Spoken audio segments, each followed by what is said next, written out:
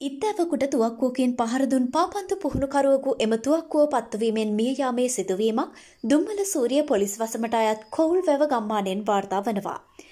මෙලෙස මියගොස් ඇත්තේ පන්නල ඇලබඩගම බම්මන පදිංචිකරුවකු වන MHM රිකස් නැමැති තිදරුපියෙක්. දාසය වන දින එනම් ඊයේ රාත්‍රී එකොළහට පමණ වෙඩිශබ්දයක් ඇසුණු බව මේ වත්තේ මුරකරු ප්‍රකාශ කළා. කොළහ මාතේට වෙඩිශබ්දයක් ඇහුණා. අපි වෙඩිශබ්දයක් වුණාට එන්නේ ඒ කට්ටිය තුවක්කුවතේ තියෙනවා. ඒක තියලා දායි ටෝච් එක හරි. මියගිය පුද්ගලයා දුම්මල සූරිය ඇතුන් ගහ කොටුව ප්‍රදේශයේ තිතෙනකු සමග දඩේම යාමේදී මේ සිදුවීම සිදුවී තිබෙනවා.